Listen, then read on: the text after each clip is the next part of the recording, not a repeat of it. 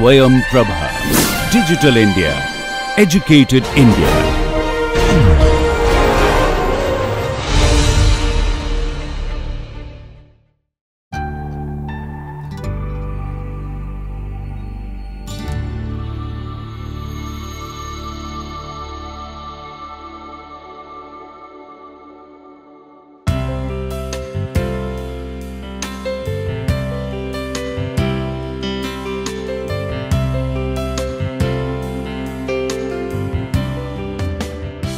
Welcome to the lecture on momentum conservation equation. So, uh, in the last class we discussed about the uh, conservation equation for mass and uh, also we uh, had the concept about the total derivative or the uh, substantial derivative and uh, we had seen that when we are talking about the terms like rho capital du by dt or uh, Uh, rho dv by dt or do, uh, rho uh, dw by dt.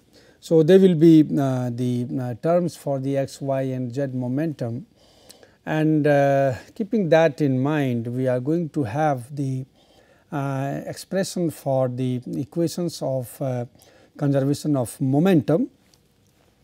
So, what we had seen you know if you talk about the uh, momentum conservation equation, it is basically derived from the Newton's second law, which tells that the rate of change of momentum of a fluid particle equals the sum of the forces on the particle. So, uh, you will have uh, that uh, rate of increase of momentum that will be sum of forces.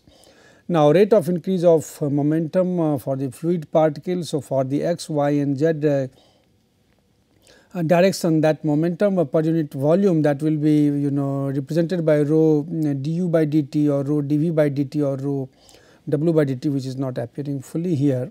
So, that is the substantial derivative du by dt or dv by dt or dw by uh, dt and uh, uh, that also is uh, you know we had already seen that uh, you know for the component rho du by dt. So, that will be you know uh, uh, dou of rho u by uh, dou t plus dive of rho u u.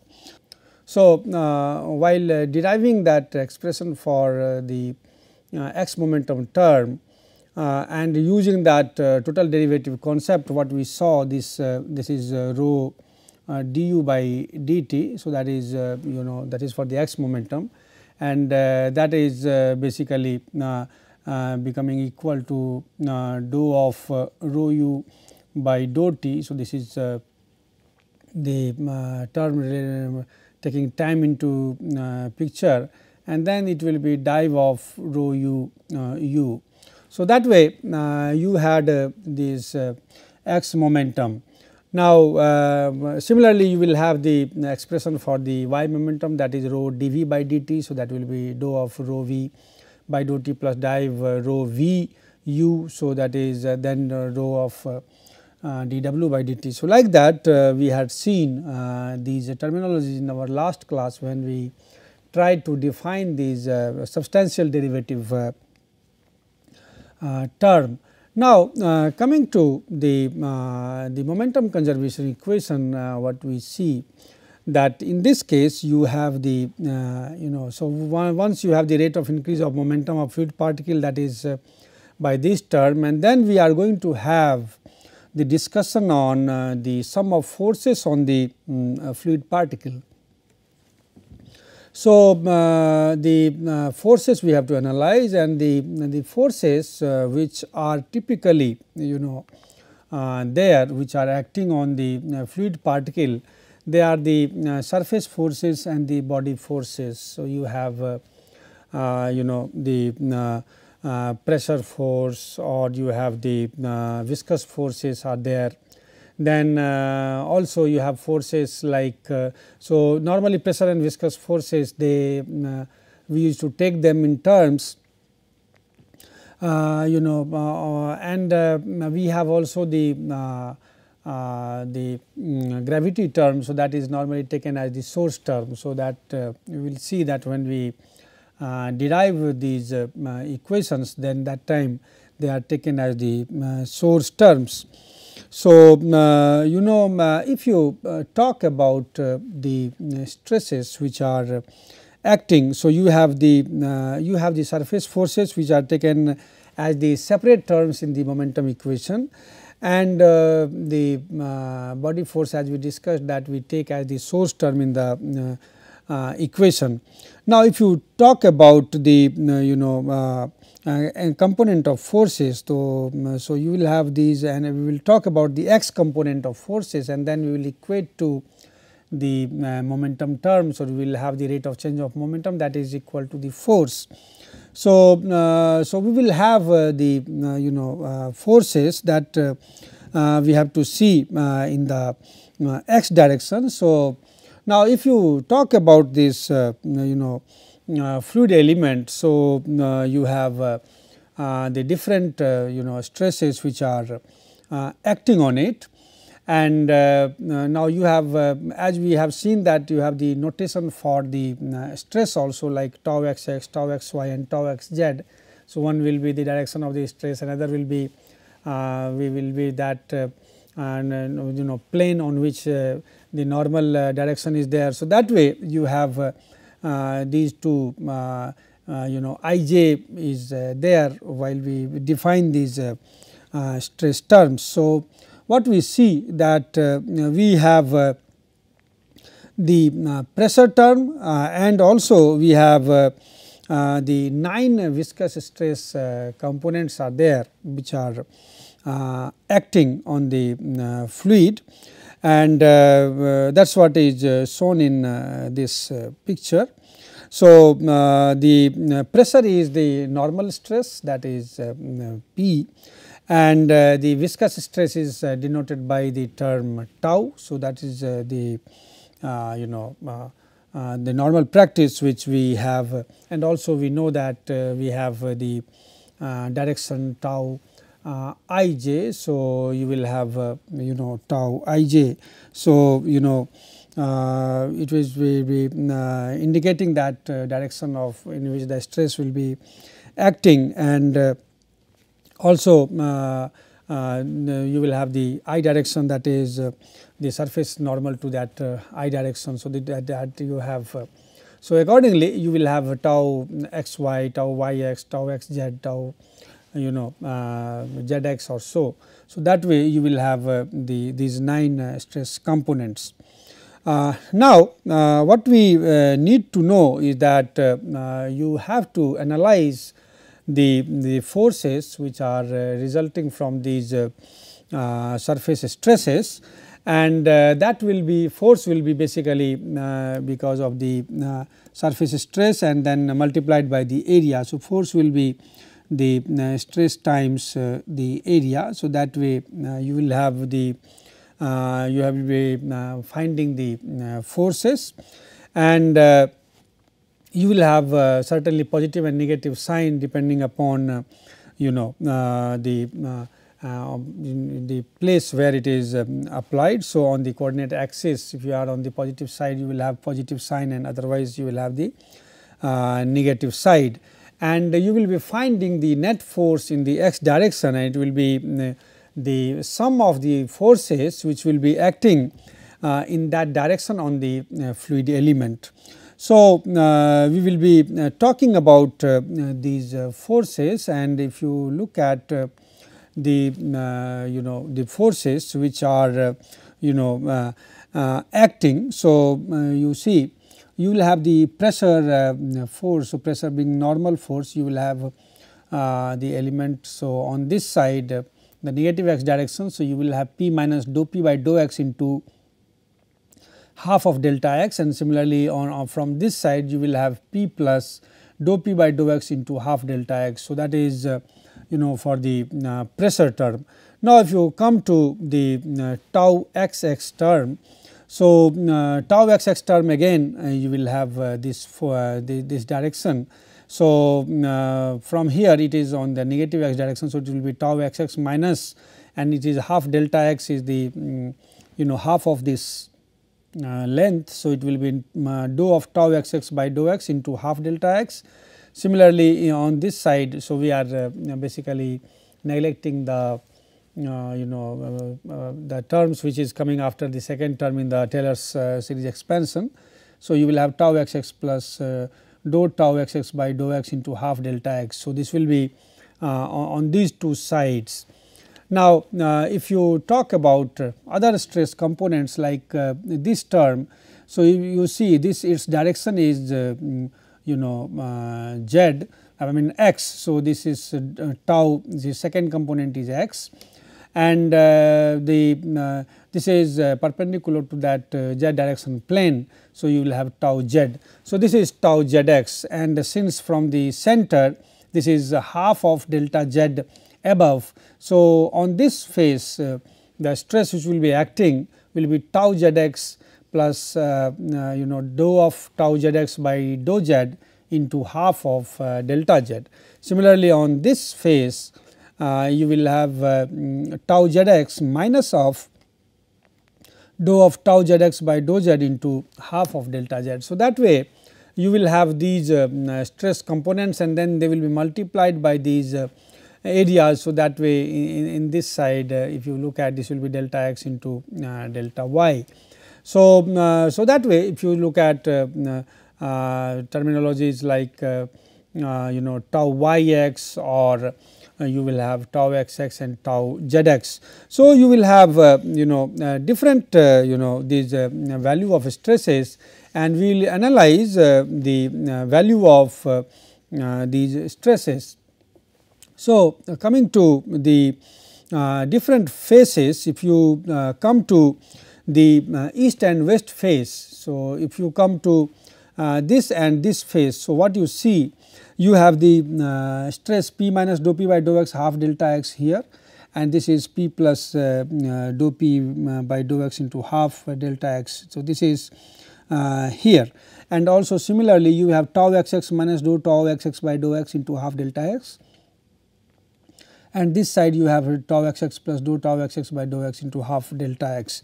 So, if you talk about the uh, you know on the east and west faces. So, on uh, pair of east and west faces if you uh, you know uh, take the uh, uh, forces into consideration. So, what you see you see the on the left hand side because of the pressure you get P minus dou P by dou x into half of delta x. So, that will be there and then uh, you have the uh, negative of uh, the tau xx minus uh, dou tau xx by dou x into half delta x. So, that is the this dou tau xx term is. Now, uh, in this case in the case of pressure since uh, we take the uh, compressive as the positive one. So, we are taking this positive value. Now, then you have the uh, term uh, you have if you go from uh, the opposite side.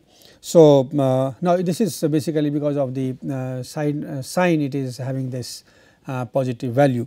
Now, uh, if you take the uh, from the right hand side your pressure term is in the negative x direction. So, you will have minus of p plus the dou p by dou x into half of delta x and uh, then uh, you have the term uh, that is tau xx plus dou tau xx by dou x into half delta x.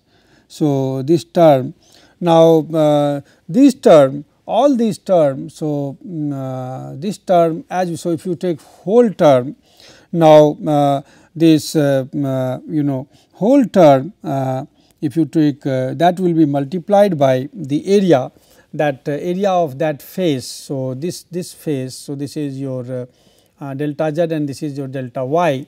So, it will be multiplied by delta y delta z. So, this is uh, the uh, you know forces which are on the E and W face in that you know x direction. So, so if you add these terms so, you will have uh, you know this p and this p will uh, cancel and uh, so you will get uh, you know minus of uh, dou p by dou x and uh, uh, you know uh, and you have this uh, uh, delta x term will come. So, this is half delta x and this is half delta x. So, that it will be delta x, delta y and delta z that will be going out and in this side you have you know tau xx and and here also you have uh, plus tau xx. So, this minus tau xx and plus tau, tau xx will cancel.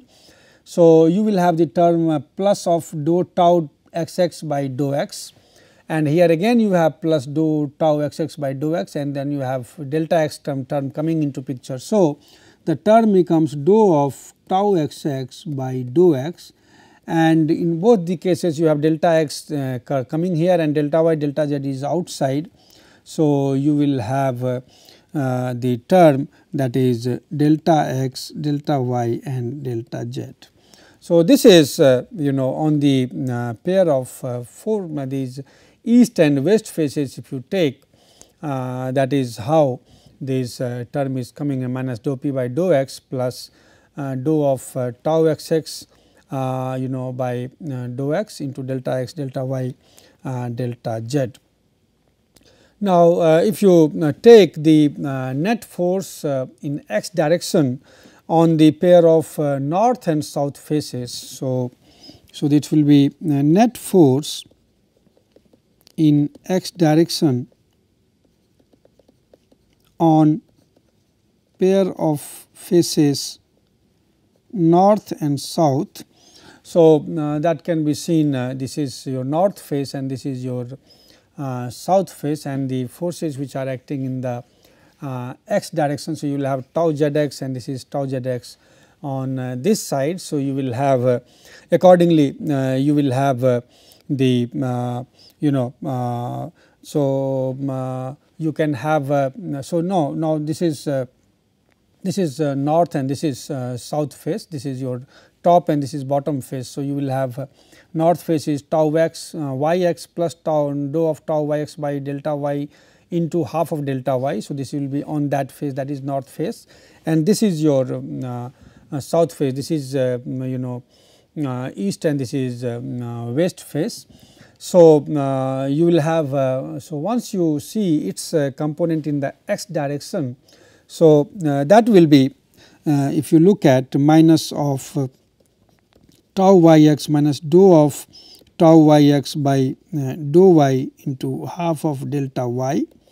So, that will be uh, your uh, in the x direction. So, that will be multiplied by delta x delta z and then uh, we are adding the, the another term. So, that will be uh, you know uh, tau y x plus dou of tau y x by dou y and half of delta y and, and that will be again multiplied by delta uh, you know uh, x delta z. So, uh, if you see that again tau x tau x is gone and you have these two uh, plus terms. So, you will have dou of tau y x by dou y and into delta x delta y and delta z. So, so this uh, is we are taking, having that net force in the x direction on the pair north and south face. Similarly, if you take the net force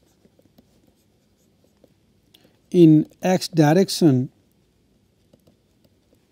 on top and bottom faces. So, on uh, top and bottom face you will have tau z x plus uh, dou of tau z x by dou z into half delta z. So, on the top face and on the bottom face you have tau z x minus half uh, you know tau z, uh, dou of tau z x by dou z into half of delta z. So, that is uh, there on the bottom face and we multiplied by the uh, area. So, that will be again uh, minus of tau z x minus dou of tau z x by dou z into half delta z and uh, this will be multiplied by delta x delta y and then we are further adding uh, tau uh, zx plus dou of tau uh, zx by dou z into half delta z and uh, that will be again multiplied by delta x delta y. So, this will be again becoming same as uh, dou of uh, uh, tau zx by dou z into delta x delta y delta z. So, uh, what you see that uh, you have uh, the uh, total force which will be acting on per unit volume uh, on the fluid. So, that will be equal to the sum of uh, these forces net force which is acting in the x direction. So, if you are having that you know net force in the x direction. So, your net force in x direction. So, that will be summation of uh, uh, you know these uh, mm, forces which are acting on these different uh, uh, faces and their uh, components in the x direction. So, that will be you know it will be sum. So, you know it will be total force. So, you know that is it is not the net force basically it is the um, you know uh, total force. So, net force we have uh, got in x direction for by the uh, on, on, the different faces. Now, we are going to have the total force. So, total force per unit volume on fluid due to these surface stresses. So, it will be sum of the uh, these uh, forces which we have derived in our so for the east and west face, for the north and south face and for also the uh, you know top and uh, bottom face. So, that will be sum of that. So, you are getting dou of uh, minus p plus tau x x by dou x plus dou of tau y x by dou y plus dou of tau z x by dou z. So, this is uh, you know uh, this is the uh, this is the force which is acting in the you know it, it is because of the x momentum. So, it is the total force in the x direction and uh, so you can write uh, you know that uh, your x momentum you know equation that will be becoming. So, you will have to equate this to the uh, x momentum what we uh, you know rate of change of momentum. So, that is the so that is equated to that um, force and apart from that you will have other uh, forces body forces or, or gravity forces. So, by nature. So, uh, so you will have that term is taken as the source term. So, that you can have the source term in the um, you know x direction. So, if you take the uh, you know uh, x momentum equation. So, so x component of the momentum equation that will be uh, writing we will be writing as uh, rho of uh, du by dt. So, that is what we had seen that for the x component of the momentum that will be equated to the uh, you know uh, force which is acting in the x direction. So, that will be minus of so dou of minus p plus tau x x by dou x plus uh, dou of uh, tau y x by dou y plus dou of tau z x by dou z plus s m x. So, this is your uh, source term uh, in the x direction. So, that is uh, s m x. Similarly, if you uh, try to have the you know y momentum equation in that case uh, mm, again you will have to do the analysis of the forces. So, uh, similar on the on the line uh, if you try to have uh, the uh, equation for the y component. So, y component uh, equation can be written as rho of dv by dt. So, that u will be replaced with v. So, that is you know rate of change of the momentum in the y direction and that will be the uh, force that is in y direction. So, when we are talking about the uh, y direction. So, in that case you will have dou of uh, you know tau x y by dou x.